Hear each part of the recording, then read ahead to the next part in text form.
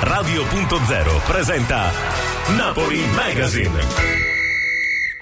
Cominciamo come ogni venerdì con Diego Armando Maradona Junior. Ciao Diego, buon pomeriggio. Buon pomeriggio a te Michele, buon pomeriggio a tutti.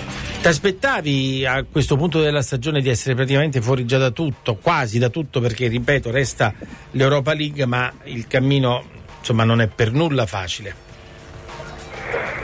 No, dire di... che io mi aspettassi una situazione del genere no, però purtroppo alla luce dei eh, numeri dicono questo e c'è da fare un, un esame di coscienza importante.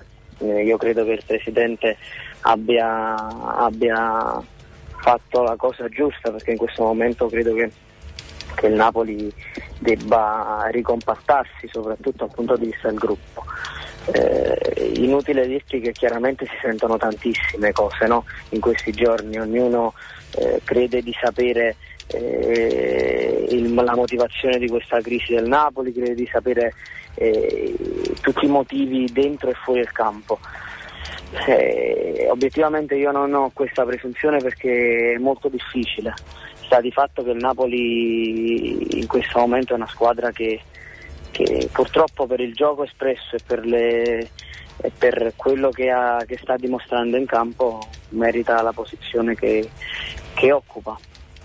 Eh, probabilmente questa è la cosa più preoccupante, Diego. Cioè, il Napoli in questo momento non può recriminare nulla. No, io credo di no.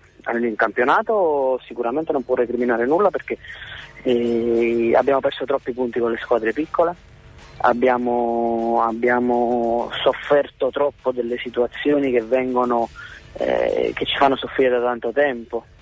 Vedi le imbucate dei centrocampisti avversari, vedi vedi l'uno contro uno in fase difensiva con i difensori, soprattutto con gli esterni. Eh, purtroppo il Napoli è una squadra eh, dei, che, che recidiva, recidiva, su certi errori, recidiva su, su, certe situazioni. Per quanto riguarda la Coppa Italia, sai, eh, in genere quando le cose vanno male poi dopo eh, è più facile che vanno malissimo che, che meglio, perché onestamente eh, tutto questo, questo, lodare la Lazio, mm, onestamente non ho visto una squadra che, che, abbia messo in forte difficoltà il Napoli, ho visto solo una squadra che ha voluto molto di più, eh, con più cattiveria la vittoria. E... Poi chiaramente, chiaramente, prendi due tiri in porta in questo, in questo periodo e prendi gol, è anche normale. Assolutamente, no, ma il problema, um, Diego, forse è proprio questo. Cioè, in effetti la Lazio ha giocato la partita che voleva, ha giocato la partita che voleva, mentre il Napoli non si capisce ancora che partita ha giocato, pur avendo avuto tante occasioni da gol, pur avendo sprecato veramente tanto, veramente tanto. Ehm, la Lazio è venuta, è venuta qui, Diego, per fare quella partita, approfittare del del classico errore che il Napoli, che il Napoli offre sempre. Eh, non per nulla un attimo prima era stato bravissimo Anducar sempre sull'Uric ad evitare il, il gol eh, quasi alla stessa maniera no? cross dalla destra e, e, palla sul secondo palo stavolta nel, nella seconda occasione Luric ha anticipato tutti a centro porta e ha messo in gol la palla della qualificazione però ripeto, cioè la, la differenza, eh, dici bene, la Lazio è venuta qui a giocare la partita che doveva giocare, pur essendo in svantaggio, diciamo. Ma questa è una cosa, è una cosa chiara, no? Credo che l'abbiano, che l'abbiano visto tutti. La Lazio in questo momento in più al Napoli c'è solamente la cattiveria. Eh, anche perché io non ho visto eh, questa Lazio con un gioco brillante come me la descrivevano cioè palla a Felipe Anderson e vediamo che succede fondamentalmente però sono stati più bravi di noi sul, sul punto di vista caratteriale, sulla voglia, sulla, sulla cattiveria agonistica che ci hanno messo, che hanno messo e, è inutile, è inutile, ribadire, sai, in questo momento io sto sentendo moltissima critica su Benitez, no?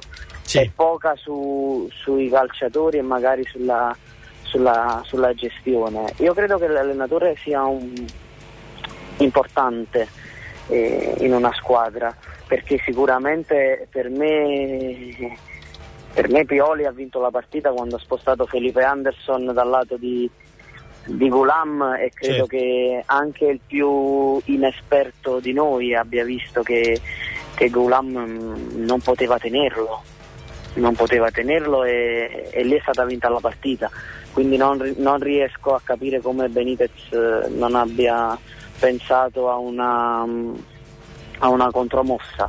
Eh, detto questo è un errore figlio anche eh, del calcio moderno perché magari se, fo- se la stessa situazione si fosse eh, fosse successa 10-15 anni fa si, si prendeva uomo e basta, oggi c'è questa, questa regola di marcare a zona e, e questo l'abbiamo sofferto, anche perché vedi eh, continua ad andare controcorrente, uno dei più criticati in questo periodo è Maggio, Felipe Anderson non l'ha saltato una volta in 70 minuti. Infatti, Maggio Quindi- avrà probabilmente sbagliato qualche cross, ma sappiamo che non è il suo forte, però in effetti fin quando è stato, è stato sulla, quando ha attaccato sulla sinistra, quindi sulla destra del Napoli, io sinceramente non mh, credevo che non giocasse nemmeno.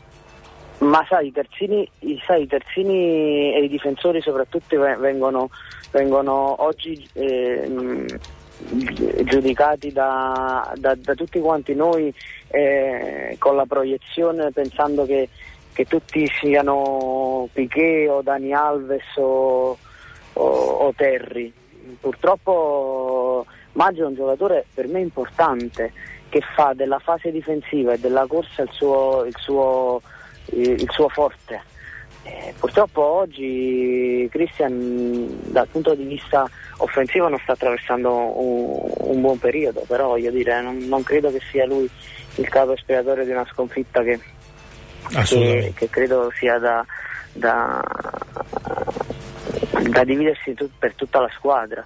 E per concludere quello che ti stavo dicendo prima, eh, la Lazio ha avuto, la- ha avuto più voglia anche nel, eh, nel mantenere il risultato e non, non dimenticare perché forse probabilmente pochi, poche persone ci hanno fatto caso eh, se non l'avesse presa Lulic la palla di, di Insigne forse ci arrivava Closer Certo, erano certo. due attaccanti, questa è una dimostrazione gra- di grande voglia, una dimostrazione di grande voglia. Io, sai, tu lo sai eh, quanto non mi piace parlare di quelle maglie, ma il giorno prima Chiellini per un calcio d'angolo quasi si fa buttare fuori. Eh vabbè, no. Questa, questa è la rabbia che, che io non vedo in questo momento nei calciatori del Napoli. La differenza purtroppo Diego è tutta lì, eh, cioè saranno antipatici tutto quello che vogliamo, ma eh, bisogna imparare molto dalla Juventus. Per chiudere Diego, eh, non ti chiedo di Napoli-Fiorentina perché ehm, cioè, è inutile girarsi intorno, la partita- basta, il Napoli adesso in questo momento deve semplicemente ritrovare se stesso, cercare di vincere quante più partite possibili in campionato e in Europa League. Mm, quindi per questo non sprechiamo il tempo a parlare della gara contro i Viola. Ehm, io però ti voglio fare una domanda su un giocatore che amiamo tantissimo, non mi riferisco a Mertens, ma a Higuain. Ehm, io personalmente ho molto criticato la partita di Higuain perché da un giocatore del suo spessore, del suo carattere, della sua bravura, mi aspetto, mi aspetto sempre qualcosa in più e non si può avere un atteggiamento così irritante come l'ha avuto in campo lui. Guarda, per quanto riguarda mh, la partita di Roma, eh, io credo che Higuain non stesse in condizione di poter giocare, ma anzi probabilmente Benitez è stato criticato per- perché l'ha tolto, l'ha tolto troppo presto, per me l'ha tolto troppo tardi eh, domenica a Roma. Certo la partita eh, contro la Lazio è insufficiente, voglio pensare che sia che sia dovuta a, una- a un problema di, di fuso orario e di stanchezza, perché se no, se no inizi- dove- dovremmo iniziare a pensare che, che certi giocatori non ci sono più con la testa e non, non credo sia vero. Però adesso mh, fondamentalmente io forse dico una brutta cosa, mh, mi interessa poco di domenica con la Certo. Fiorentina. Certo, meglio vincere come sempre, però adesso dobbiamo giocarci, giocarci veramente tutto sulla, sull'Europa League, tutte le, le, nostre, le, nostre, forze, le nostre energie sia mentali che fisiche devono essere sull'Europa League perché eh, è l'unica cosa che può salvare una stagione che se dovesse, se dovesse terminare fra due settimane come tutti quanti noi speriamo con l'eliminazione in Europa League eh, credo che, che più, più, che fallimentare eh, la potremmo eh, definire una stagione tragica dal punto di vista calcistico. Quindi speriamo che, che almeno in Europa League i ragazzi possano, possano trovare le giuste motivazioni. Napoli Magazine. Ed eccoci pronti a ripartire, abbiamo qualche problema a rintracciare, a rintracciare Silvermele, ma ricordiamo c'è questa importantissima presentazione di questo libro firmato a quattro mani da Tony Iavarone e Corrado Ferlaino e siamo sicuri che ci sarà molto da dire e da chiedere eh, in particolare all'ingegnere Ferlaino che eh, meglio, meglio ricordarlo è comunque il presidente che ha vinto più di tutti, è il presidente che ha portato i due scudetti e, e l'unica coppa internazionale vinta dal Napoli quando l'UEFA contava ancora, quando l'UEFA era, era una coppa importante che contava e come. E nel frattempo c'è l'ennesimo tweet di, di Peperena. Mm, perché? Perché come sempre vengono fuori notizie che non stanno né in cielo né in terra, eh, soprattutto, soprattutto quando, eh, quando, ci sono giocatori che lasciano Napoli, spesso e volentieri si, mette mezzo, eh, si mettono in mezzo storie familiari. In realtà Pepe Reina, come sempre, con molta sincerità e lealtà, ha risposto: non è stato mai un problema familiare, anzi, la mia moglie ama Napoli lo stesso che io la amo. Vabbè, eh, insomma, è un italiano spagnolo. Basta di scherzare, caro Pepe, siamo, siamo con te. Forse, probabilmente, Pepe. Eh, insomma, probabilmente sarebbe bello, sarebbe bello insomma, sentire, eh, leggere un tweet sul perché perché non, non sei rimasto a Napoli, tutti lo sappiamo, però sarebbe, sarebbe bello. L'unico, l'unico appunto che mi permetto di fare per il resto d'accordissimo. Buon pomeriggio al collega di Canale 8 e 100% Napoli.it Paolo Del Genio. Ciao Paolo, buon pomeriggio. Ciao Michele, buon pomeriggio a tutti.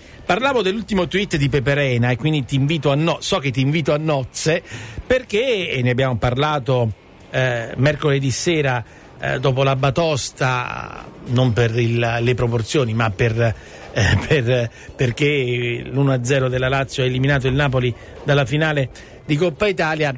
E abbiamo parlato un po' di quelle che potevano essere le cause, insomma, per la verità ci siamo ridetti delle cose e forse anche il mancato rinnovo di Pepe Reina fa parte di questi errori che hanno compromesso una stagione che altrimenti avrebbe potuto dare grandi soddisfazioni al Napoli. Il mancato di rinnovo di Peperena, lo ricordiamo per chi ancora non lo sa, Paolo, correggimi se sbaglio, è, è, è stato dire, causato da un mancato accordo tra le parti. Peperena chiedeva io dico il giusto e probabilmente poteva anche fare un piccolo passo indietro su quanto, su quanto chiedeva. Il Napoli in realtà non, non si è proprio avvicinato. O sbaglio? No, eh, ma Reina ha risposto a quello che ha detto oggi De Laurenti, no? Sì, eh, sì parlava del, della situazione familiare, non è per nulla vero che è ah, andato, ecco. è andato via per motivi familiari. Vabbè, quindi praticamente escludendo quelli familiari restano quelli economici, no? come, come ma come è normale che sia, io non faccio quello che si scandalizza, in un mondo di professionisti. È normale che un atleta se ha qualche, qualche società, eh, tra l'altro importantissima, la, la, migliore al mondo, che ti dà una cifra, eh, tu per tenerlo dove sta devi almeno mettere quella cifra, è normale. Io non, non critico Reina, diciamo che il Napoli forse non ha avuto eh, in quel momento mh, la capacità di cogliere che, che rischio, il, il, rischio che si andava a assumere, questo forse è stato il grande problema, cioè ha sperato che andava tutto bene, che quindi aveva evitato una spesa notevole, dobbiamo dirlo, perché l'investimento per Rena sarebbe stato notevole, considerata anche l'età del calciatore, costo e cartellino. ed era convinto evidentemente di avere in Rafael il portiere giusto per poter fare la, la, la stagione senza particolari problemi. Sono errori che a volte bisognerebbe chiamare con il loro nome, no? perché un po' di, di, sana autocritica non sarebbe male se ogni tanto si facesse, invece di, di, dire che la responsabilità è sempre degli altri o del, o del fato avverso. Credo che sarebbe anche una, oltre una cosa giusta sarebbe anche una strategia di comunicazione per captare più simpatia, no? Perché la gente dice vabbè ha sbagliato, può sbagliare, nessuno pretende la perfezione da nessuno. Questo credo che, che dovrebbe capire il Napoli in assoluto, che qualche volta fare un po' di mia colpa non, è, non significa ehm, autoclassificarsi come degli stupidi, significa ammettere di aver, di aver sbagliato, è normale nel calcio sbagliare, si devono prendere tante decisioni, figuriamoci. Assolutamente, ammettere i propri errori poi credo Paolo faccia ah. parte anche, de, anche, della crescita, insomma, cioè non, non ci sia veramente nulla di male. Normale. Partendo dalla premessa abbiamo sbagliato ma perché tutti sbagliano, io non operano sbaglio, certo. diciamola questa frase fatta che ha però una, una, una grande verità, no? Assolutamente, assolutamente, eh, anche perché eh, Paolo, alle volte ecco, risparmiare su certe cose abbiamo visto che non porta, non porta a nulla. Io sinceramente, eh, ripeto, io ho l'impressione che con Rena siano stati fatti una serie di errori e, e, e purtroppo quando già parti con un ruolo importante come il portiere, eh, con, una, con una X perché mh, mm, per carità Uh, nulla da dire su Rafael, probabilmente è stato sfortunato in questa stagione, però è chiaro che se ti affidi a un portiere eh, di, di, grande rendimento, tra i migliori al mondo nel suo ruolo, è normale che lo devi pagare anche quanto, quanto vale, ma hai anche la garanzia insomma, di, non avere, di, non avere, grandi problemi, cosa invece è successo con Rafael. Ah, diciamo che nel calcio proverbi, quello, i modi di dire, quello napoletano, sparagno nel mai guadagni potrebbe andare, potrebbe andare benissimo, perché nel calcio a volte se parli troppo non sta scritto da nessuna parte che ti vada sempre bene, quindi può anche andare bene, però mi sembra abbastanza evidente che prima o poi qualche cosa non riesce. Quest'anno mi sembra proprio quella stagione, dice la stagione dove tutte le, le visioni, diciamo del club andrà bene questo, andrà bene quell'altro, Cagliari si confermerà, quell'altro farà meglio dell'anno scorso, eh, diciamo che quasi tutte non sono andate come si sperava, ma, è, ma è cal- questo è il calcio e speriamo che, che Napoli capisca che questo è il calcio, che, che può arrivarti la stagione storta, che speriamo la, di raddrizzarla nell'ultimo mese e mezzo, però per tanti segnali la stagione è nata storta e poi si è, si è ricomplicata maledettamente nell'ultimo mese. Se l'è complicata un po' con le sue mani, però, Paolo. Eh, allora, io, io, io per, proprio per esigenza di sintesi, eh, ehm, io la stagione del Napoli fino ad ora, sperando e chiaramente eh, ci possa essere qualche bella sorpresa da qui alla fine, a cominciare già da giovedì prossimo, anzi già da domenica prossima, dico, ehm, io l'ho sintetizzata così. De Laurentiis, quindi il Napoli, il club, ha fatto degli errori mh, pesanti, pesanti a inizio stagione, Benitez dal canto suo non ha fatto quasi nulla. O nel momento clou della stagione non ha fatto nulla per come dire, rimediare a questi errori, ci ha messo anche del suo. Io credo che sia questo, eh, credo che sulla società siamo da... Su Benitez che quando è arrivato il momento difficile eh, è arrivato in maniera strana, cioè sono stati i piccoli segnali da dopo partita. E anche noi, anch'io devo dire, ho pensato alla all'errore di Raffaele, all'errore dell'arbitro, all'errore di Albiol certo. piuttosto che all'errore di Giorgigno. Però io posso permettermi questo lusso, perché tanto devo solamente parlare, se dico una stupidaggine non creo nessun problema al Napoli, Benitez questo lusso non se lo può permettere, deve cogliere queste situazioni negative, deve capire che sono troppe e deve dare una scossa alla squadra, questo è l'errore che ha commesso Benitez, non essersene accorto in anticipo, lì che ha tutti gli strumenti per accorgersene prima di noi, perché vive, prima cosa perché è 200 volte superiore a noi come, come conosciamo, e poi perché vive il contatto quotidiano con la squadra, è una grande esperienza nel calcio e doveva capire che uno più uno più uno non è che eh, detto, non sta scritto da nessuna parte che improvvisamente questo 1 più 1 più 1, e sto parlando degli errori individuali, eh, si interrompe. Anzi, per tutta la stagione si costa tutto. Quindi, quindi, insomma, secondo te perché Paolo È stata una questione di, di- di fidarsi me- troppo dei giocatori. Eh, ehm, di- di- dei giocatori e di se stesso, sì. Perché hai ottenuto sempre risultati, perché la carriera di Benitez è un'ottima carriera, Certo. piena di buoni risultati, quindi lui con il suo metodo di lavoro sa di poter eh, risolvere i problemi.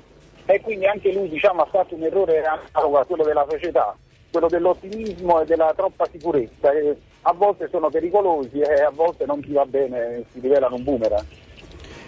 Paolo, domenica arriva una Fiorentina, Fiorentina eh, che eh, sta andando forte nonostante l'eliminazione eh, dalla, dalla Coppa Italia. Ehm, il Napoli però è comunque obbligato, prima di tutto, vabbè, ad onorare il campionato perché lo deve fare, ricordando che ci sono tanti, tantissimi milioni di tifosi che seguono la squadra azzurra e che quest'anno insomma, stanno soltanto, soltanto bevendo, eh, bevendo calici amari. E, ehm, e poi perché comunque, comunque bisogna, eh, bisogna mettere le mani avanti. Qualifichiamoci in Europa League, insomma, manteniamo la posizione per l'Europa League, per l'Europa e poi dopo, dopo si fanno i conti. Ma sì, ma non è proprio il momento di tirare i remi in barca, mancano 9, io spero che manchi tutto 14 partite, significherebbe aver centrato la finale di Europa League.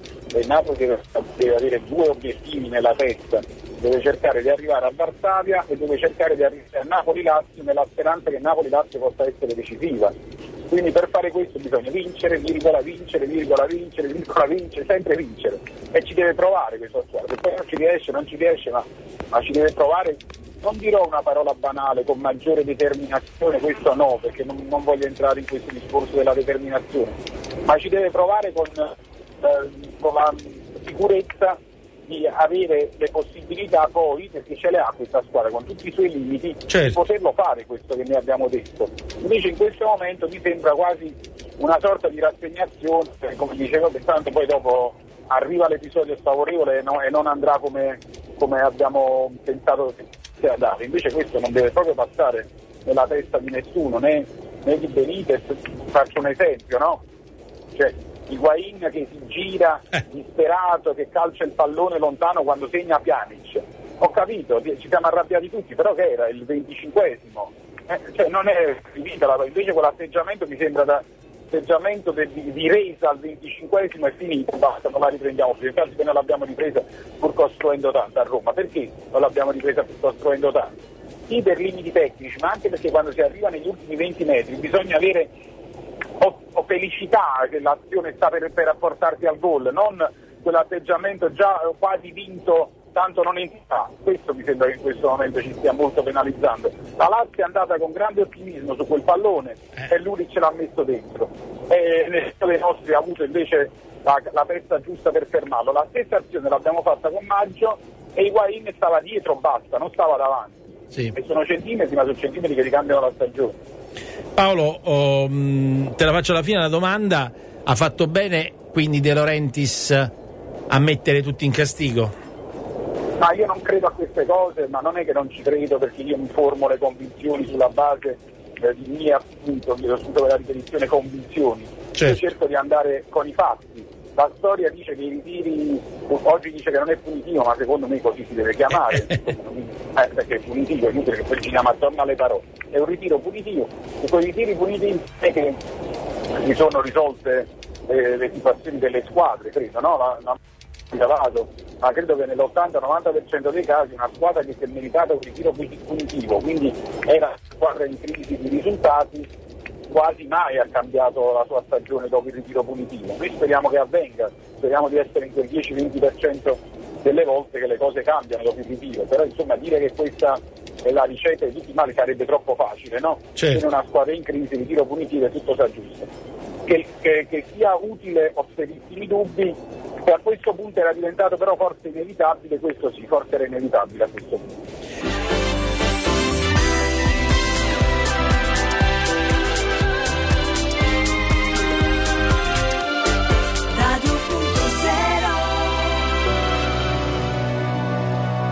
C'è una notizia sensazionale, io dico sensazionale perché immagino già le polemiche che ci potranno essere. Secondo quanto riportato dal Corriere della Sera, il presidente De, La- De Laurentiis ehm, insomma, starebbe pensando anche a un clamoroso ritorno in panchina, quello di Walter Mazzarri. Insomma, non so, non so se, eh, se crederci o meno, però certo sarebbe veramente, veramente clamoroso. Ma diamo, auguriamo il buon pomeriggio al eh, collega responsabile di tonigliavarone.it, ma soprattutto autore di un gran bel libro, un gran bel libro scritto a quattro mani con l'ingegner Corrado Ferlaino. Tony Chiavarone, buon pomeriggio Tony! Ciao, buongiorno a te, grazie, grazie tante grazie per i complimenti. Eh, eh, anche, anche il meteo oggi ti ha onorato perché credo che la cornice, la location che avete scelto credo sia stata la migliore per una giornata Sì. straordinariamente bella. Sì, magari ci ha sorriso da lassù il comandante, quindi il comandante ha fatto sì che questa bellissima nave della SNAV fosse illuminata dal sole, la città fosse illuminata dal sole, insomma, e siamo contenti che, eh, soprattutto dell'affluenza di tanti amici, tante persone, eh, di come sia ancora attuale e interessante il dibattito su questa figura che ha segnato un'epoca della nostra città, un momento storia, un momento difficilissimo perché era il dopoguerra, si usciva da una tragedia, si usciva soprattutto da, da- da un momento molto molto molto problematico e difficile. E quindi inquadrare storicamente quel periodo, anche se né io né l'ingegnere siamo né storici né politici, eh, credo sia stato un contributo doveroso e soprattutto il fatto di parlarne, di discutere e di avere anche una sorta di conflittualità dialettica con il professor Galasso che di stirpe origine repubblicana è stato pregnante per quanto riguarda diciamo, il suo dissenso storico e motivato nei confronti di quell'epoca. Naturalmente, eh, come abbiamo anche eh, spesso ricordato eh, prima della presentazione del libro, Tony, è un libro che chiaramente ricorda la figura eh, eh, di, di Achille Lauro, comandante tradito, ma ecco, come dicevi tu giustamente, vuole aprire anche un dibattito, uno squarcio su quella che potrebbe essere probabilmente la primissima risorsa di, di Napoli, io dico un po' anche della, della campagna, ovvero il porto di Napoli. Sì, eh, questo è vero. Eh, la città attraverso Laura, attraverso quel periodo, vive un momento, vive un momento dove ancora dobbiamo legarlo a quello che è la storia. Oggi siamo ancora davanti alla cronaca di quella città la storicizzata. E Napoli è riuscita in quel momento anche ad essere, eh, ad essere particolarmente impegnata su molti fronti. Laura è stato anche un imprenditore, ha realizzato la prima flotta d'Europa, una flotta potentissima, ha dato a Napoli queste risorse che venivano proprio dalla risorsa principale, cioè il mare, è stato il presidente di un Napoli che iniziava eh, il percorso del riscatto, non era più il Napoli sbeffeggiato che girava per l'Italia, è stato un editore di, di, di, di, un lungimirante, oltre che editore del Roma, lui ha avuto l'intuizione di creare la prima grande televisione privata che è stata Canale 21. E speriamo, speriamo che ecco, memoria, nella memoria del comandante Lauro davvero Napoli possa, possa anche sbloccare un impasse perché dobbiamo ricordare che l'autorità portuale eh, di Napoli è ancora senza vertice, commissariati, insomma, quindi c'è molto molto da lavorare, ma probabilmente insomma, la data si avvicina, visto che il 31 maggio ci saranno le elezioni regionali e subito dopo forse si Sì, provvederà. c'era- con noi stamattina c'era il sindaco Luigi De Magistris, il quale nel suo intervento eh, ha proprio toccato questo punto del, del sbloccare la situazione attraverso la nomina del, del- del presidente della portualità e guarda che comunque presente il presidente della Camera di Commercio Maddaloni c'è stata una convergenza tra i due e questa già vogliamo dire insomma è una notizia praticamente. E beh, e quindi probabilmente le acque, le acque già iniziano a smuoversi, è il, caso, è il caso di dirlo. Così come speriamo possano smuoversi, Tony, le acque in casa Napoli, acque molto molto agitate. E, e in questo caso, ecco, un po' come una mossa da comandante Lauro, De Laurentiis si è ripreso il Napoli, visto che si fatica a trovare un leader, ha detto, eh, visto che eh, nessuno ci riesce, allora il leader di questo Napoli sono io. Sì, eh, io credo che eh, la mossa di De Laurentiis eh, indubbiamente abbia sparigliato un po' l'ambiente. Per quanto riguarda il ritiro, io credo che il ritiro sia importante se c'è condivisione, altrimenti il ritiro punitivo e basta secondo me può avere dei risultati differenti da come uno si immagina. Ma come possiamo dire, noi siamo giornalisti, fotografiamo la situazione e diamo il nostro parere e la nostra opinione. Poi però alla fine ognuno di noi dentro ha la passione per una squadra piuttosto che per un'altra. La nostra ovviamente è una passione legata al Napoli. E quindi diciamo che ci anima la speranza che il Napoli esca in questi pochi giorni dal suo tunnel e già contro la Fiorentina riesca ad essere di nuovo quello che noi abbiamo immaginato e che abbiamo visto per un tratto della stagione. E naturalmente, eh, Tony, senza dimenticare che proprio, oddio, veramente la striscia è iniziata già da tempo. Che però ecco la striscia possa cominciare proprio da domenica con la Fiorentina, perché poi resta l'ultimo, l'ultimo gancio a cui appendersi, questa Europa League, eh, passando però mh, già da un, primo, da un primo ostacolo, da un primo step molto molto duro che è quello del Wolfsburg. Beh sì, quello è appuntamento diciamo primario oggi, come gli altri appuntamenti sono finiti, insomma il Napoli purtroppo ha giocato al ribasso per quanto riguarda gli obiettivi. Eh, nel giro di poco tempo ne sono sfumati perché erano due obiettivi possibili e raggiungibili, perché io credo che il Napoli abbia una buona rosa, abbia una rosa competitiva e che senz'altro i 23 punti che lo separano dalla Juventus, gli 8 e 9 da Lazio e Roma, siano un torto a quello che oggi è il Napoli. Quindi a questo torto bisogna porre rimedio. Io ti dico che quando nel calcio c'è una caduta è chiaro che i primi responsabili per definizione sono i calciatori. Ma questo difficile ha anche due padri, proprio per, per ruolo. Uno è il, è il presidente, perché è quello che ha il potere e quello che decide, e l'altro è l'allenatore che invece decide chi va in campo, chi scegliere come giocare. E quindi, come si dice, se i padri non sono capaci di educare bene i figli è normale che commettono, che commettono degli Ci sono errori. degli errori, certo, certo, certo. Tony, mh, per chiudere, non, non ti voglio trattenere perché sicuramente sarai ancora molto molto impegnato, ripeto, in questa giornata comunque bellissima perché eh, insomma mi dispiace non esserci stato, ma purtroppo qualcuno do- doveva pur rimanere qui a preparare la trasmissione, ahimè. E qui però c'era, c'era Antonio, quindi, eh, quindi la rappresentanza era ai massimi livelli. Mm, però chiaramente, ecco, oh, questa, questa stagione deve insegnare, deve insegnare qualcosa, perché non si può, non si possono commettere gli stessi errori anche nella prossima stagione. Pur se si ripartirà casomai da zero, se si ripartirà con un nuovo progetto, non si può, non si può continuare in questo modo, diciamoci la verità, un po', un po' improvvisato, dove c'è un uomo che decide per tutti, che è il presidente, e poi insomma si fanno scelte che spesso e volentieri lasciano anche un po', un, un po' così, un po' allibiti perché non si vede questa continuità di progetto, di progettualità che invece servirebbe. Sì, io sono convinto che il Napoli debba fare, adesso al di là di come finisce questa stagione, un passo importante, quello di strutturarsi, nel senso di creare, per dirla per- come quelli che parlano le lingue, un management, al di là del fatto che il proprietario resta sempre lo stesso e che chiaramente le decisioni definitive spettano a lui, il Napoli ha bisogno di una struttura societaria, così come avviene in tutti i grandi club, così come è avvenuto nel passato. Oggi, in questi giorni, noi celebriamo i 25 anni dell'ultimo scudetto. Diciamo che quella fase di quel Napoli, quella Napoli vincente, que- quel periodo purtroppo breve del- del- della presidenza e della proprietà Ferlaino fu contraddistinta proprio dalla crescita eh, societaria, da come la società seppe strutturarsi, cominciando da figure come Italo Allodi, che iniziò questo grande progetto, sino ad arrivare poi ai successivi passaggi con Moggi, Perinetti, Pavarese, insomma. E ovviamente questo ha consentito di gestire in quegli anni questa forza dirompente del Napoli, il Napoli che dobbiamo ricordarlo, quel Napoli era completamente attanagliato dalle grandi potenze economiche, non c'era solo la Juve, allora, c'era il Milan, c'era l'Inter, c'era la Juventus, insomma.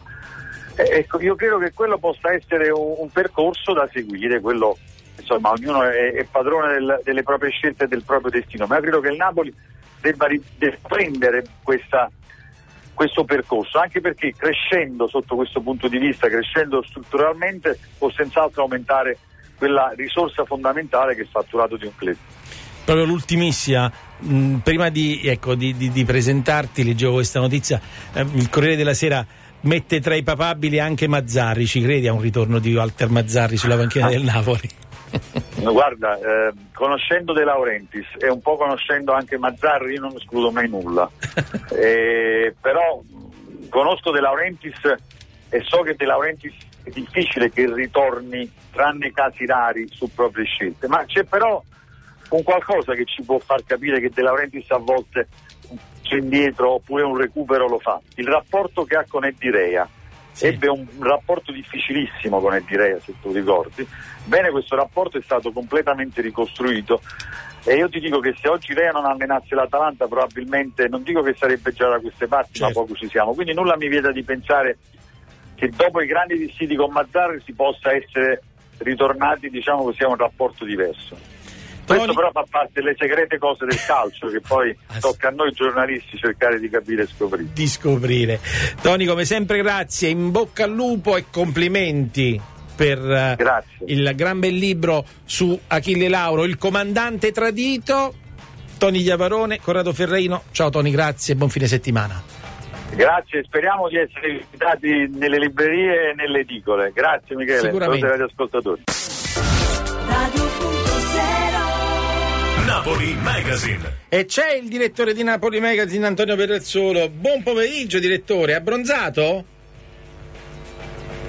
Direttore, ci No, sei? mi sono preso un attimo di, di calma per rispondere, dato che sto in attesa da un quarto d'ora, Ah. quindi ho detto ah, può essere che non hanno premuto il tastino per mandarmi in diretta. Ah, anche Caro Sibilla, ho avuto problemi da risolvere ah, risolti brillantemente benissimo, questa mattina. Benissimo. E, e quindi siamo di nuovo in carreggiata. So che, ehm, che alla c'è? presentazione del libro di Tony Chiavarone eh, c'era eh, The Big eh, Win, quindi già ha risolto lui tutta la questione. So che è intervenuto Tony Chiavarone poco fa, Esatto. quindi eh, ci siamo divisi i compiti. E noi presentiamo subito, diamo il benvenuto subito al prossimo ospite, Rosario Ah, Pastore. fer- fermi, fermi Mi- tutti, mi- mi fermi, dato mi che so Ritorno indietro, riavvolgo il nastro, vai. Eh, dato che so che eh, lo stanno aspettando con molta attenzione perché vogliono conoscere il suo pensiero, di solito è il super pensiero scritto, ma quello avverrà dopo Napoli-Fiorentina. Adesso facciamo l'anticipazione in radio di quello che è accaduto chiaramente negli ultimi giorni e che sta accadendo tuttora proprio sul tempo reale, quindi è un piacere e un onore ritrovare Rosario Pastore. Ciao Rosario, buon pomeriggio. Buon pomeriggio a voi, grazie. Io non- purtroppo non sono abbronzato come il direttore. Nemmeno io, nemmeno io. È stato sulle Nemmeno navi io. oggi il direttore, eh, quindi... Nemmeno io ho avuto, ho avuto da fare cose, eh, cose tecniche, però Rosario eh, De Laurentiis da una parte dice eh, la stagione non è ancora finita, non è stato un ritiro punitivo, ehm, ha anche parlato di Pepe Reina dicendo che ehm, aveva fatto un'offerta importante e anche per motivi familiari legati alla moglie non, eh, non è rimasto a Napoli, poi ha twittato, ha mandato dei messaggi sul suo profilo Twitter proprio Pepe Reina dicendo non è vero, io e mia moglie amiamo Napoli, cioè, il motivo è stato un altro, io immagino di natura economica. Eh, Napoli che non vive un momento semplice, cosa fare adesso? Eh, gettare tutto al vento? Rafa Benitez che sembra non gradire questo ritiro a Castelvolturno, però c'è una gara da affrontare con la Fiorentina importante e poi c'è il Wolfsburg giovedì Eh, prossimo. Io capisco, scusami, io capisco Benitez che magari avrebbe gradito andarsene a Liverpool qualche giorno perché Liverpool gli manca tanto, tant'è vero che è andato a Liverpool nei giorni precedenti una partita delicatissima come quella della Lazio senza pensare che and- quella partita andava preparata nei minimissimi termini. Comunque niente, questa è la situazione, ora eh, io dico che eh, De Laurentiis, il quale ci ha ripensato perché giovedì sera, gio- mercoledì sera aveva parlato di ritiro punitivo, ora mh, è tornato sui suoi passi, ora dice non è più ritiro pu- punitivo, chissà che razza di ritiro è. Vorrei piuttosto dire questo, ho sentito ieri Antonio Corbo, il quale diceva ma diciamo la responsabilità sì sarà un po' del Presidente, sarà un po' del- eh, dell'allenatore, ma la responsabilità maggiore è dei giocatori. Io non sono assolutamente d'accordo su questa tesi. Giocatori hanno, molti giocatori del Napoli hanno una sola responsabilità che è quella di essere mediocri, ma questa non è una colpa.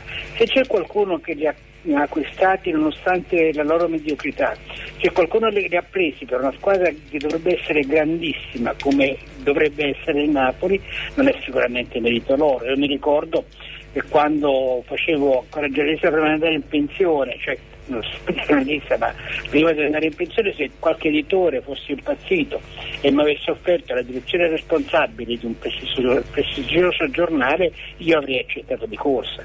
E poi chi se ne fregava di giornale, anche se io non ero adeguato alla direzione responsabile di quel giornale.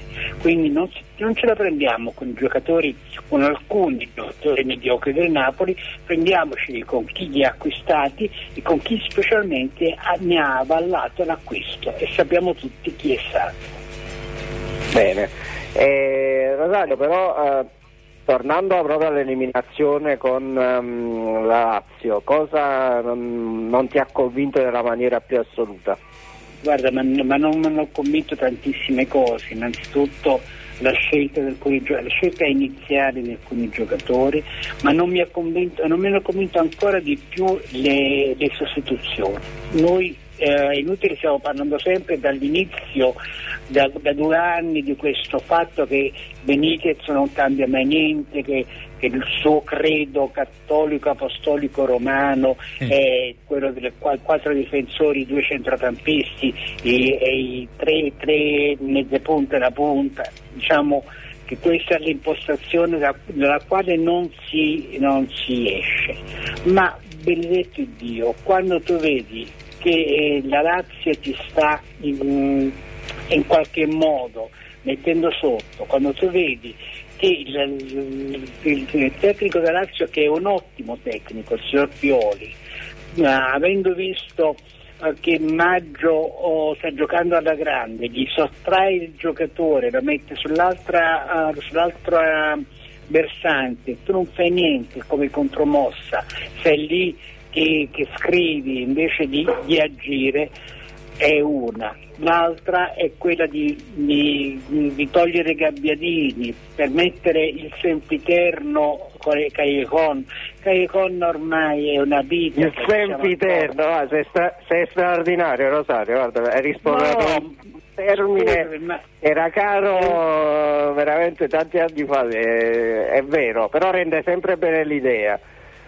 Però sempiterno di solito si utilizzava anche in accezione positiva, correggimi se sbaglio, cioè quando era utile, invece questo Caglion non, sta- non è utile alla Sì, casa del una Napoli. vita, è una vita che è dannosa addirittura alla squadra, perché io vorrei sapere quanti palloni ha toccato Caecon in tutto il tempo che è rimasto in campo. Se tu ti ricordi di avere in panchina un Insigne che è guarito perfettamente e noi abbiamo parlato con, eh, con i, con i medici, sappiamo che, eh, che, che Insigne Certo. per nostra fortuna sta bene e te ne ricordi di lui solamente negli ultimissimi minuti e Insigne ti risponde con quell'azione travolgente che per poco non ti dà il gol immeritato, diciamo la verità, del pareggio e allora siamo lì.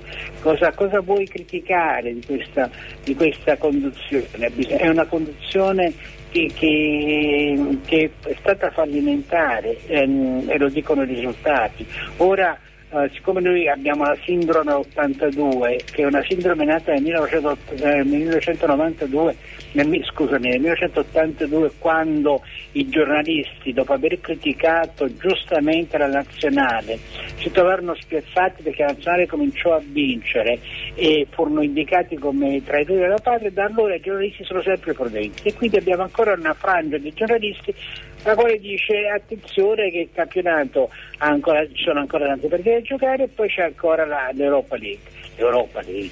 L'Europa League noi stiamo per affrontare il Wolfsburg, cioè una squadra che si è appena bagnata la Roma, una squadra che viene da un paese che in una traduzione si chiama Borgo dei Lupi e che ha steso appunto oh, completamente la lupa eh, meritatamente e noi vogliamo, vo- speriamo che- di, di salvare la stagione contro il Wolfsburg io questo mi chiedo quindi diciamola tutta diciamo che, que- scusami, che questa ehm, conduzione è stata estremamente fallimentare ci si sono ci si poi vorrei tornare un attimo sulle parole del signor eh, De Laurentiis il quale oggi dice che non è un ritiro punitivo e intanto il giorno del mercoledì post sera- partita quelle di oggi, Rosario? Scusami, mercoledì sera De Laurentiis Eh. parlava di distrazioni dei giocatori. Cos'è?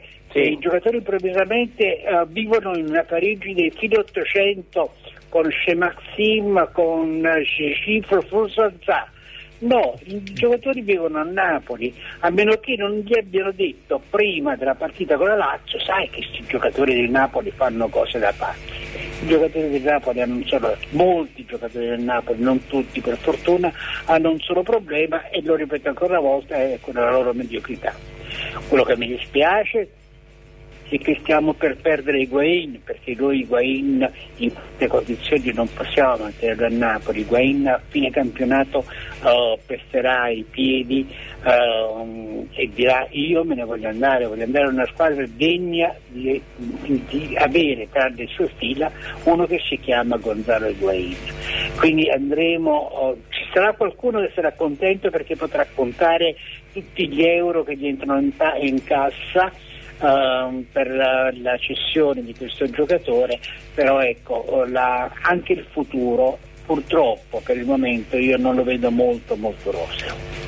A Eh. trovarli però questi 50-55 milioni, anche se molti Appunto, dicono... hai hai detto niente, poi, poi potrà dire No, no, eh, cacciato 300 Eh, No, sento molti, dire molti cacciato- colleghi dire è facile trovare 50, cioè, arrivano squadre con 50-55 milioni. Beh, se hanno questa facilità di, di acquisto, acquistate anche Michele Sibilla no? per una cifra simile e siamo tutti contenti. ma siamo tutti disponibili a essere acquistati a queste cifre qua. Soprattutto per questa cifra, lo sa. Soprattutto per questa No, cifra. Però io non posso non non posso non chiederti un'altra cosa molto attuale eh, che eh, i tifosi ci chiedono che riguarda proprio ehm, il futuro della panchina del Napoli perché si fanno tanti nomi al momento quelli in poll sembrano essere Luciano Spalletti mh, alcuni dicono che già abbia affrontato discorsi di mercato con De Laurentiis eh, un biennale per lui chissà se è vero e, e poi Sinisa Mihailovic che chiaramente alla Sandoria può ehm, godere della stima della società eh, e di un progetto comunque limitato, a Napoli avrebbe chiaramente altre eh, prospettive. Tra i due per chi voti? Guarda, io ho- a me i sergenti di ferro non mi piacciono, a me piacciono gli allenatori umani, gli allenatori che, che- che preparano le squadre adeguatamente e che hanno delle idee molto chiare. Quindi eh, Mihailovic mh, per la verità a me personalmente non piace molto. Spalletti è un giocatore che ha avuto un momento d'oro alla Roma, ha fatto delle buone cose, ma che poi in seguito anche in Russia non ha fatto granché, anche avendo, avendo a disposizione una grandissima squadra mh, perché gli avevano speso gio- ehm, milioni a morire. Io un nome eh, ce l'ho in mente ed è quello di Vincenzo Montilla che è uno dei nostri e che è uno che ha saputo anche a Catania far vedere che ne capisce di calcio, far vedere che sa impostare una squadra, ha portato il Catania addirittura tra- a giocare, a, a sviluppare un gioco tra i migliori in Italia. Quindi eh, no, ripeto, ai sorgenti di ferro, sì ad allenatori che capiscano di calcio e che impostino la squadra secondo criteri ragionevoli. E Montella eh, secondo me sarebbe ancora la scelta migliore. Mm, ho sentito parlare anche di altri nomi, mm, niente, non- al momento Pensa ecco, convince- Rosario, scusami se ti interrompo, dico per convincere con Montella però, eh, dato che anche di qualche ora fa, se non erro ieri sera, la sua dichiarazione che a Firenze sta bene, che quindi eh, il suo futuro sarà lì, chiaro, anche frasi di circostanza, però ecco, per convincerlo a eh, cambiare aria, secondo me serve poi un progetto molto ben definito e chiaro. Vedremo se poi si Certo. risolverà.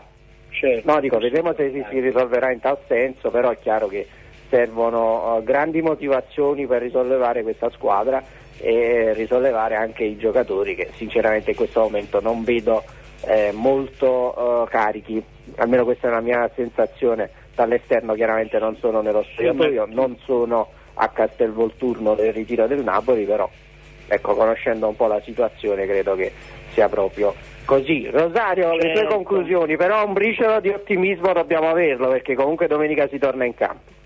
In conclusione io dico, io dico che Montella, che è figlio della nostra terra, sarebbe eh, veramente orgoglioso, secondo me, di creare qualcosa di nuovo nella, nella sua città.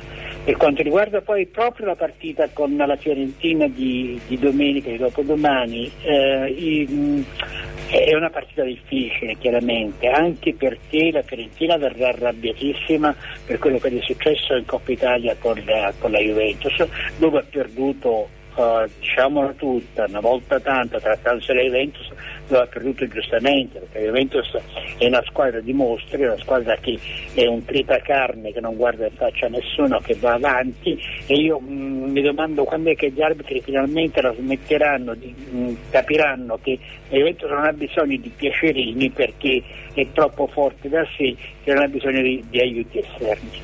Quindi sarà una, una squadra che viene qui per giocarsela tutta la partita, una squadra che ha le sue ambizioni come po- dovrebbe averle ancora il Napoli, purtroppo ambizioni molto ridimensionate dagli ultimi due mesi ed è, ed è una squadra che ha ehm, tra le sue fila un giocatore straordinario che si è trovato diciamo quasi per caso, direi quasi per caso, anche se non sapessi che in effetti Montella era convinto di questo Sala, di questo egiziano che ha fatto vedere cose da pazzi. Ho, ho visto segnare dei gol a Salah che sono la fine del mondo, del- delle azioni personali, dei dribbling personali e delle conclusioni che sono da grandissimo campione.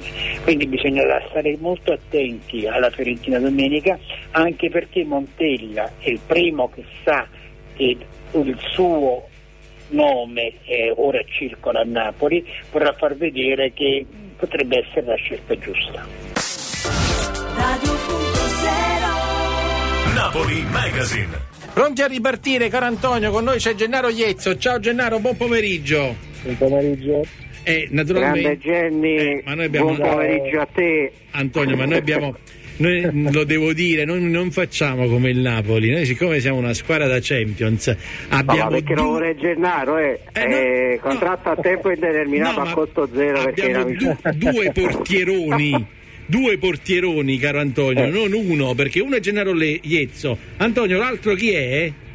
E l'altro è un ex portiere della Fiorentina, chissà per quale squadra farà il tifo no, domenica. Immagino una squadra con la maglia azzurra, vero Pino Tagliatela? Buon pomeriggio a tutti, ciao Gennaro, amico mio. Ciao Ino, come stai? Bene, grazie, tu come stai? Non ci lamentiamo, non ci lamentiamo. Guardate, io subi- subito la dico così vi do subito uno, uno spunto di discussione molto bello. Così si fanno le squadre. Allora, chi prendiamo come portiere? Eh, prendiamo Pepe Reina e eh, prendiamo Tagliaratena e Iezzo. Cioè, eh, cioè così dice.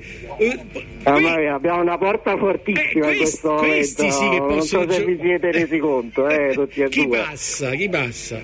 O Mamma sbaglio? mia, mamma o mia. sbaglio? Si fanno così le squadre. Diciamo che chi passava Assolutamente. oggi, oggi siamo dall'altra parte.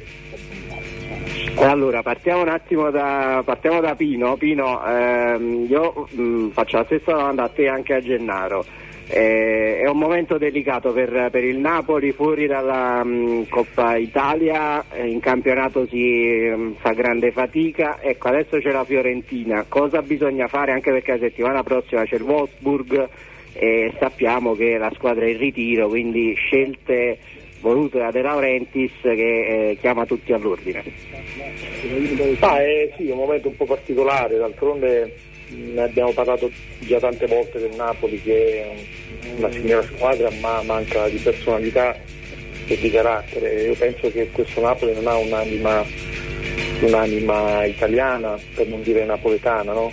Mm, secondo me eh, eh, in più non c'è nessuno che possa spiegare a questi ragazzi cosa vuol dire vestire la maglia del Napoli e cosa vuol dire avere dei tifosi come il Napoli. E quindi manca quella scintilla che probabilmente negli, negli ultimi anni c'è stata anche grazie a, a Gennaro Iezza, Grava, a Paolo Cannavaro eh, e, e via dicendo, ecco, lo, lo stesso Aronica, ecco, erano giocatori che eh, quando andavano in campo magari una partita la vincevano 2-0 sicuramente non si facevano rimontare. Eh, manca, manca un po' di, di quello spirito, malgrado la squadra sia una buonissima squadra, eh, hanno anche un grande allenatore, però ecco, se non hai eh, quella, quella, quella cattiveria e quella personalità che probabilmente lo scorso anno la, la dava sicuramente Reina, eh, quest'anno è mancata a Napoli in parecchie occasioni, vedi uscita dalla, dalla Champions League e, e poi tutti gli altri appuntamenti mano a mano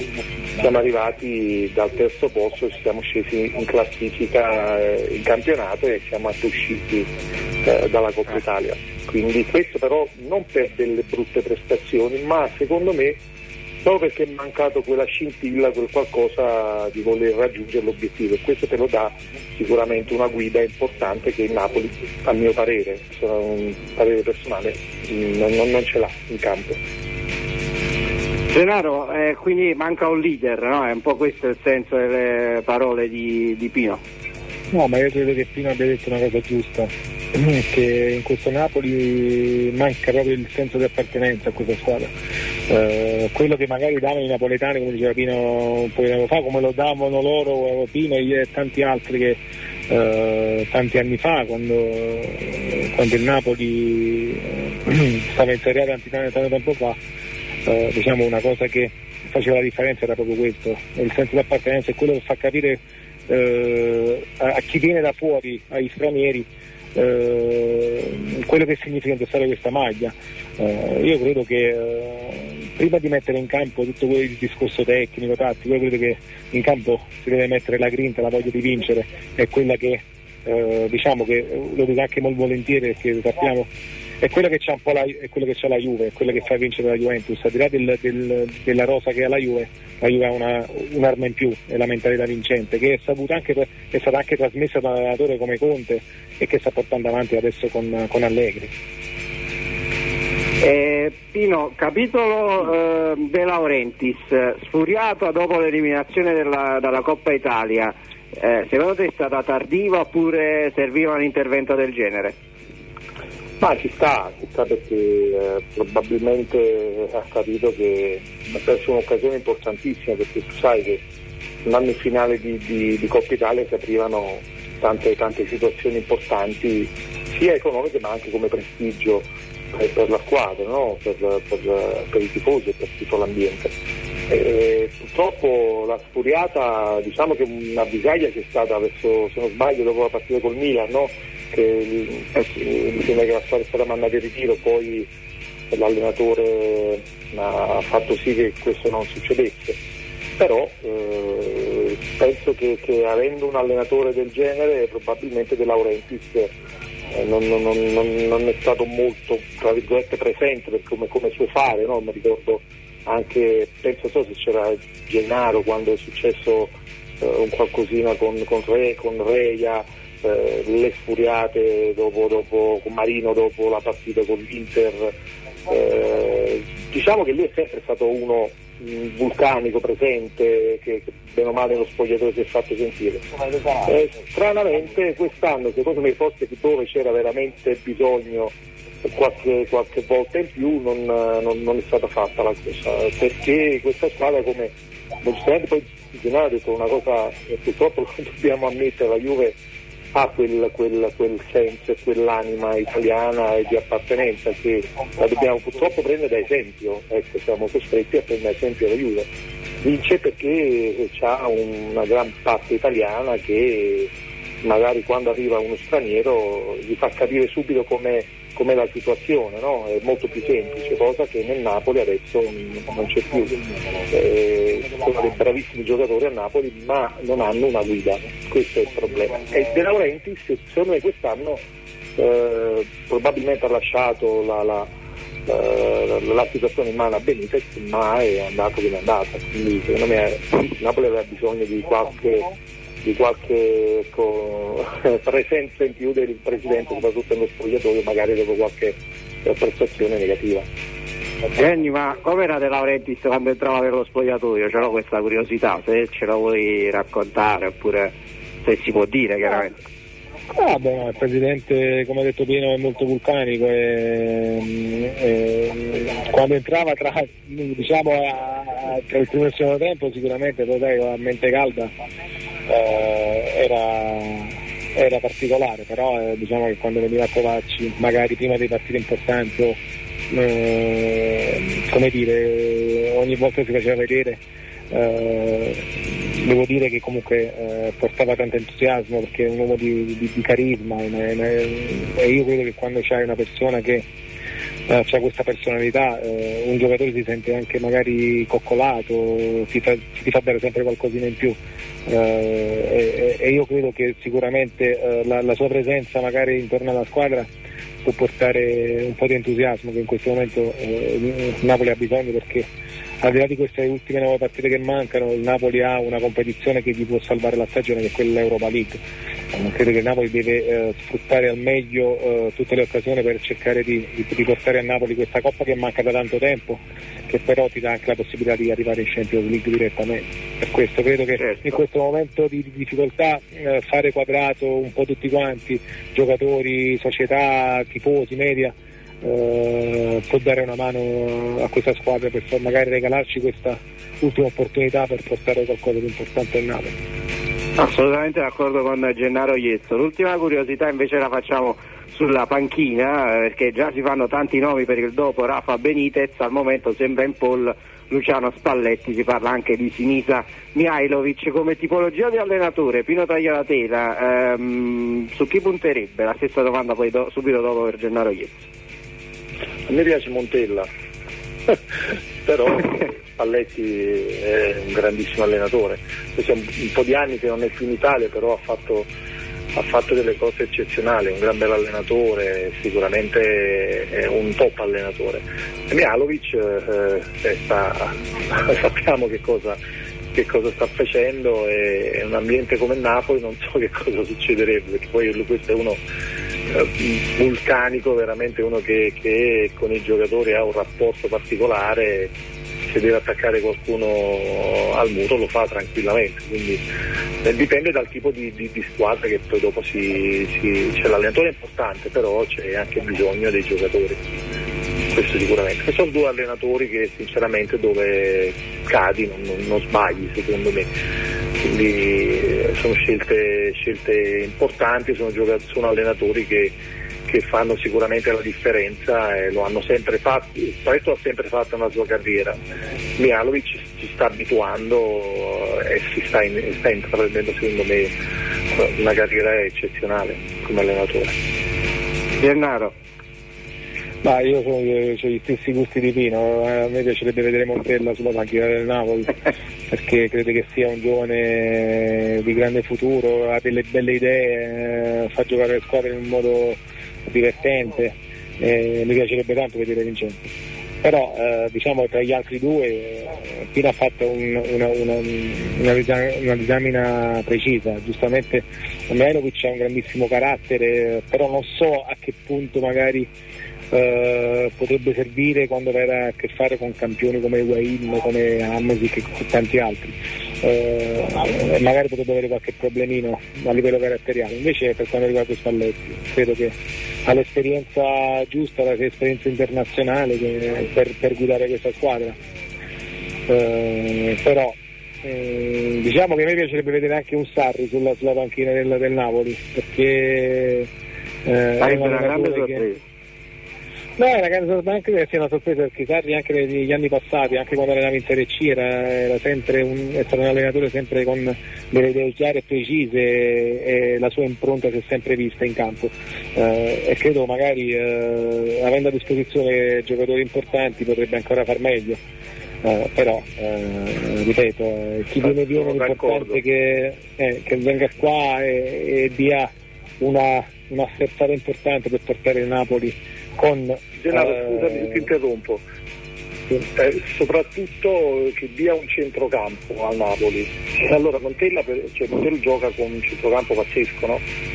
Sabor Cavallero, Pizarro e tanti altri che sono dei campioni. Cioè, il Napoli eh, il centrocampo non ce l'ha, penso, dai tempi di, di Pagni, di, di- di- di Napoli, di Alemao, eh, un centro romano, un centrocampo importante, un centrocampo che eh, faccia veramente girare, girare la squadra. E di- ho, ho detto Montella proprio anche per quello, perché Montella eh, predilige un centrocampo eh, che, sa, che, che, che gioca bene con, con, con eh, giocatori che giocano benissimo con i piedi e anche giocatori che sono degli incontrizzi però che sono fenomeni, cioè, capito? No, allora lo devi convincere perché Montella qualche ora fa ha detto il mio futuro è a Firenze, resterò Eh qui, beh. è chiaro che Eh sono vabbè, eh beh. dichiarazioni di facciata magari, chi lo sa. Però ragazzi, fategli una telefonata e lo portiamo a Napoli, se poi questo è il... Ma vabbè, queste poi sono decisioni che, che farà la società sicuramente, ci mancherebbe, noi non è che siamo i presidenti del Napoli, eh, però Il flash, no, il flash finale ve lo voglio fare perché siamo già oltre eh, sulla provocazione, non so se è una provocazione oppure può essere una verità del Corriere della Sera che dice eh, tra i vari papabili c'è anche il ritorno di Walter Mazzarri. Sareste favorevoli? Dio. da Pino e poi Gennaro. per l'amor di Dio. Lasciate Perfetto, Gennaro, cosa hai da dire Eh, invece tu? No, io, vabbè, io ho avuto Mazzari come allenatore, ha fatto delle grandi cose, però la, la minestrina scaldata credo che in questi momenti non vada bene, al di là che non si discutono le qualità del- dell'allenatore. Oddio, come, come motivatore eh, secondo me resta tra, tra i migliori. Staremo a vedere quale sarà il futuro. Motivatore Dimmi, dimmi, serve, serve, serve un allenatore che ci fanno giocare a calcio, ci fanno crescere. Mazzari ha fatto benissimo a Napoli, adesso no. secondo me abbiamo bisogno di, di- di- ecco questi tre allenatori che abbiamo parlato oggi, con più Sarri che ha detto Gennaro, ecco magari sono, sono allenatori che fanno giocare, cioè, a Napoli ci, ci vogliono allenatori che fanno giocare bene la squadra.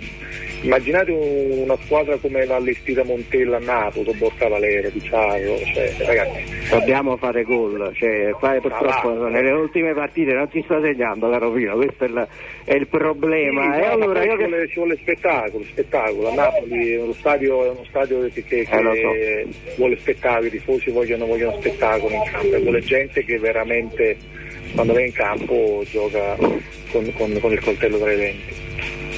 E allora, tutti in piedi ragazzi perché abbiamo eh, oggi riempito le porte con portieri. due fuori Mamma. classe, quindi un applauso speciale. A Pino Tagliatore e a Gennaro Iezzo che ci hanno onorato con la loro presenza quest'oggi qui a Napoli Magazine per un super finale di trasmissione. Grazie Pino, grazie Gennaro. Grazie a voi, Grazie a ciao voi. Gennaro, un abbraccio. Ciao Pino, un abbraccione. Radio.0 ha presentato Napoli Magazine.